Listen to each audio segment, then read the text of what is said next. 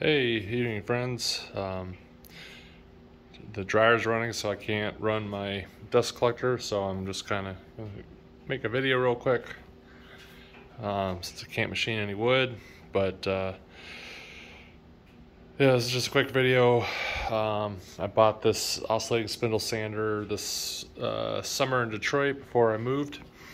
Um, it's a state model S3 half horsepower oscillating spindle sander.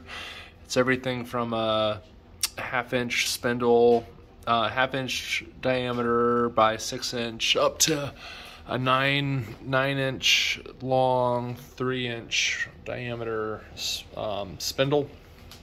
Don't ask me what the stroke height is. I think it's like an inch and a half, two inches. Uh, could be wrong. Don't quote me. Um, and let's see, it's three phase. So I've got a three phase converter that I bought with this, and then um, you know this takes oil uh, like a, uh, a 20 weight oil. Uh, the sight the oil is a little high. That cycle should be about half full. Uh, this is about a I think it was made in the 40s ish. Um, so good, just solid piece of machinery. Um, rotates about one, a one single axis, but I'll probably only ever be um, running it on one or at 90 degrees. And this comes with nine different spindles, um, and then several different table inserts depending on the size of your spindle. So let's give it a fire it up and give it a shot, huh? phase converter is a little little loud. This is a Baldor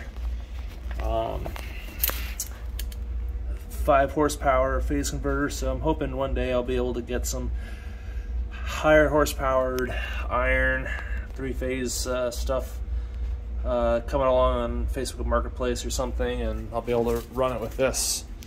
We'll see. Uh, this is, yeah, three-phase uh, 240. So this phase converter is actually fairly loud. And in uh, comparison, it's much louder than the actual spindle sander itself.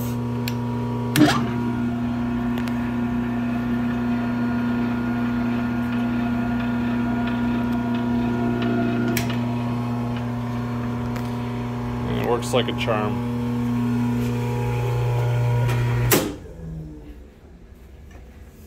So yeah, if you have any questions, just let me know. Pretty straightforward machine. I'm using it to sand the inside of my guide boat ribs. Uh, so, let's see. This shop's a mess right now. I've got various uh, ribs, uh, rib forms, and I'm using the spindle sander to sand the inside of the ribs. Um, and then using these wooden lath, I'll be able to uh, steam bend these on these forms and into shape for the actual boat. So uh, that's all for for now, and uh, yeah, let me know if you have any questions. Um, hopefully, someone's googling state oscillating spindle sanders and and uh, you know wants to know more about their machine and be great to get in touch. So take it easy. Bye.